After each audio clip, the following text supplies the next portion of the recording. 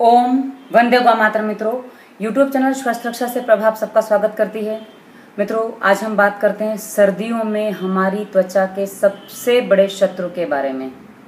वो है साबुन। साबुन एक ऐसा पदार्थ है जो हर घर में पाया जाता, हर घर में इस्तेमाल किया जाता है। और स्नान बिना साबुन के तो संभव ही नहीं है, लोग ऐसा मानते हैं। मित्रों, साबुन से स्नान के मैं आपको कुछ बातें बता दूँ। साबुन में जो केमिकल होते हैं, caustic soda, soft slurry, urea, पता नहीं क्या क्या होता है, ये तो कुछ हम, मुझे मालूम है, मैंने आपको उतने बता दिए। ये सारे ही केमिकल आपकी त्वचा के लिए अत्यधिक हानिकारक होते हैं। जब आप इनको त्वचा पर लगाते हैं तो त्वचा सीधी फट जाती है। अब जो साबुनों का विज्ञापन आता है, विज्ञापन में एक बात कही जाती है, मुख्यतः जैसे हल्दी का साबुन है, चंदन का साबुन है, दूध मलाई का साबुन है, बादाम का साबुन है। तो यदि आप इन चीज़ों के साबुन से स्नान करते हैं तो आपकी त्वचा में सूखापन आ जाता है। आप यदि सीधा उस वस्तु से स्नान करें, आपकी त्वचा में निखर आ जाएगा। कारण क्या है? जिन वस्तुओं को ये साबुन में बताते हैं, उसमें एक प्रतिशत भी कई बार वो लोग नहीं डालते हैं। तो आप सोचिए, जब आपके साबुन में एक प्रतिशत भी उसका बताया हुआ मूल तत्व नहीं है तो उसका असर आपकी त्वचा को क्या मिलेगा? और सबसे बड़ी बात, साबुन फेस फेस अर्थात फेना। ये वाला फेस नहीं, फेने वाला फेस। जब उसमें फेना है आप, मैंने कुछ साबुनों को देखा है जिसमें स्नान करने के बाद वो एक चिकनापन रह जाता है। पर यदि आप उसके बाद भी त्वचा को पहुँच लेते हैं, जिसमें कुछ फेस वॉश आदि भी शामिल होते हैं, शायद डव है और कौन कौन सा, क्योंकि मैं इस्तेमाल नहीं करती हूँ, पर कभी हाथ धोने में आ गए तो थोड़ा बहुत पता चल जाता है। तो यदि आप वो सब भी इस्तेमाल करते हैं, आप भले वो लिटमस पेपर पे आपको नहीं दिखता है, लेकिन फिर भी उसके केमिकल आपके लिए हानिकारक हैं। चाहे कैसा भी, कितना भी माइल्ड साबुन हो, चाहे कैसा भी साबुन हो, साबुन आखिर साबुन है। मित्रों, एक बात आपको बता दूँ, आप मात्र यदि बेसन से, बेसन को गीला कर लीजिए, उसको त्वचा पर लगाइए और उसके बाद आप उसको थोड़ा सूखने के बाद आप धो डालिए। यदि आप ऐसे भी करते हैं ना तो त्वचा का वो चिकनापन खत्म होने लगता है। तो साबुन में जो केमिकल है, वो त्वचा के चिकनेपन को खत्म कर देता है। आप क्या करते हैं, त्वचा को साबुन से धोया तो चिकनापन खत्म हो गया। अब चिकनापन खत्म हो गया, सूखापन आ गया तो उसके लिए आपने लोशन क्रीम लगा लिया। एक केमिकल से आपने त्वचा के चिकनेपन को खत्म किया और दूसरे केमिकल से आप उसको बढ़ा रहे हैं।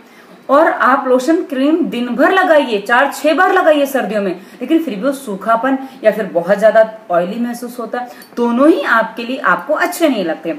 और यदि आप साबुन को हटा देते हैं। आप नींबू शहद आदि का इस्तेमाल करते हैं, जो हमने बताया स्नान कैसे किया जाए। हमारी प्लेलिस्ट मुखड़ा चाँद का टुकड़ा में आपको मिल जाएगा। यदि आप उन तरीकों का इस्तेमाल करते हैं स्नान करने में तो आपको बाद में क्रीम आदि की आवश्यकता नहीं पड़ेगी।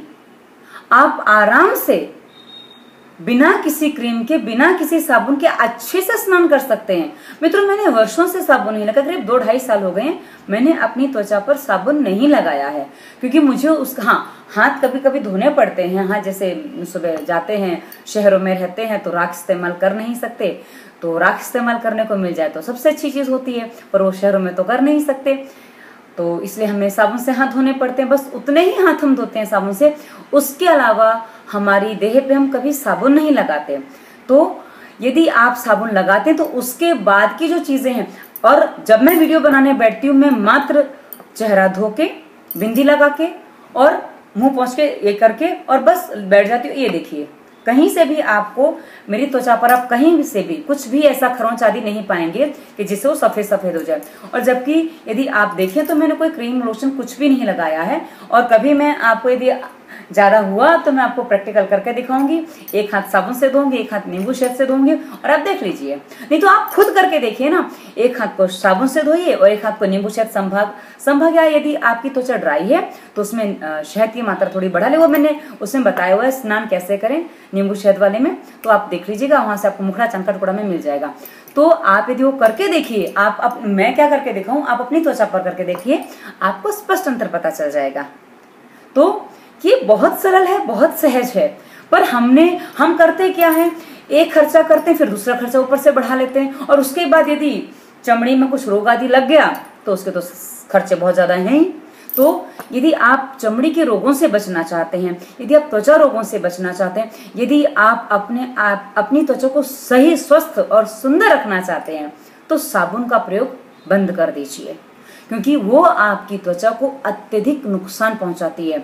आपको, आप हल्दी, बेसन और थोड़ी सी मलाई उसमें मिलाकर भी आप दूध मिलाकर स्नान कर सकते हैं। यदि आपकी त्वचा सूखी है तो मलाई मिला लीजिए और तैलीय है तो उसमें मात्र दूध मिलाइए।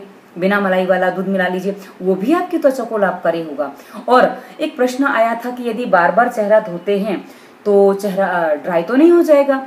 यदि आपने अपनी त्वचा में साबुन नहीं लगाया है, साबुन लगाना बंद कर दिया, आप वीडियो के, आप जो वीडियो के विवरण में नियम पालन दिए जाते हैं, उनका पालन करते हैं, भोजन पानी का नियम पालन करते हैं तो आप विश्वास रखिए, आप दिन में पचास बार भी चेहरा धोएँगे तो आपकी स्किन ड्राई नहीं होगी, आपकी त्वचा सूखी नहीं होगी। आपको कोई फ़र्क नहीं पड़ेगा। बस आप जरा सी लापरवाही करते हैं। यदि आप साबुन से स्नान करते हैं, आप दो बार मुँह धोएँगे, आपकी त्वचा सुखी हो जाएगी, फिर आपको कुछ लगाना ही पड़ेगा। लेकिन यदि आप साबुन का इस्तेमाल ना करें तो समस्या नहीं होगी। बस इतनी सी बात है, ज़्यादा कुछ नहीं समझना है।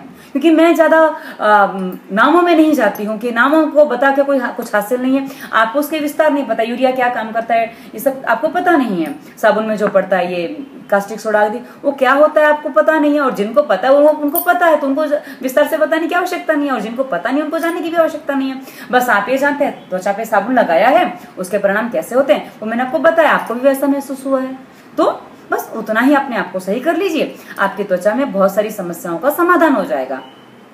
वीडियो अच्छा लगा तो लाइक करिए, और यदि आप यहाँ से मेरे पहले दर्शक बन रहे हैं तो इस वीडियो के विवरण के वीडियो अवश्य देखिए, और उनको देखने के बाद कोई शंका बचती है तो आप मुझे संपर्क कर सकते हैं। उन वीडियोज़ में मैंने अपना नंबर दे रखा है। धन्यवाद। वंदे मातरम।